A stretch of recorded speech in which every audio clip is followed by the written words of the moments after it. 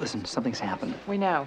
How do you know? Josh was watching it in real time. I'm not gonna belay into the computer screen, Toby. What are you talking about? Surgeon General, what are you talking about? Never mind. What did Griffith do? She reversed our position on marijuana. All right, first things first. What time is it in Tokyo? They're 14 hours ahead. I thought it was 13. Eastern Daylight. So it's 14 hours ahead. Yes. We're sure it's ahead and not behind? Guys, their clock's on the wall. Okay, so it's almost 11 o'clock in Tokyo. Yes. Ginger? Yeah. Get Larry and Ed. Anybody left in my office? Be in the Roosevelt room. I'm sorry, 11 in the morning, 11 in the afternoon. It's 11 a.m. The Allman Brothers? Keep reading.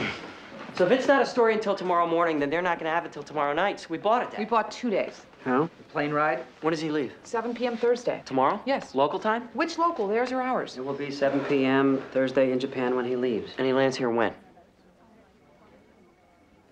Okay, the flight is 13 hours long. This isn't happening. He's going to travel eastward from Tokyo, leaving at 7 p.m. So when he crosses the international date line, He'll have traveled back in time to what? 3 a.m. Which puts him down in Washington 6 p.m. Thursday. He's gonna land in Washington an hour before he took off?